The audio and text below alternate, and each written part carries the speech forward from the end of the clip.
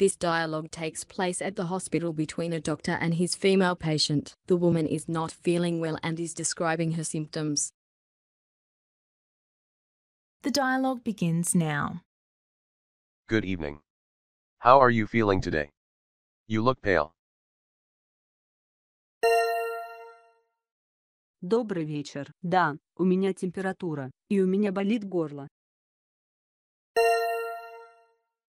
Let me see. You've got a moderate fever. Этот термометр очень не отличается от того, который вы использовали в прошлый раз.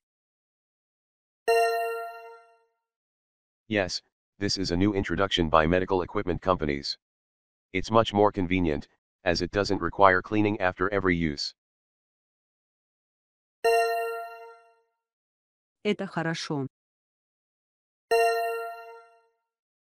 Yes, it is. Your temperature is not too high. 99.8. Your blood pressure is fine. Your throat looks a bit scruffy, which is not good.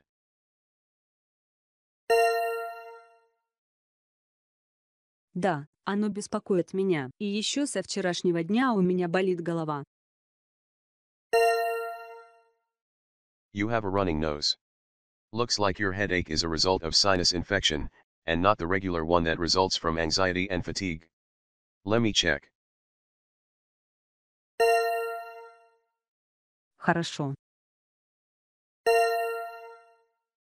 Do you get sweating and shivering? Не потею, но когда я сижу возле вентилятора, меня немного знобит. Okay, you show few symptoms of malaria. I would suggest you undergo a blood test. Nothing to worry about. In most cases, the test comes out to be negative. Хорошо, я понимаю. It's just a precautionary measure, as there have been spurt in malaria cases in the last month or so.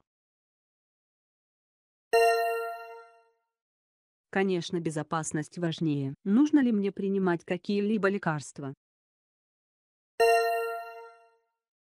I'm prescribing three medicines and a syrup. The number of dots in front of each tells you how many times in the day you have to take them.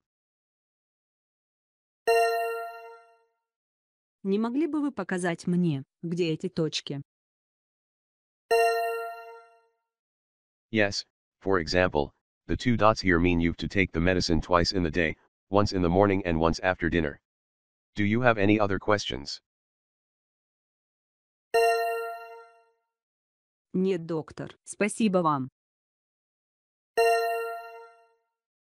I hope you feel better soon. Goodbye.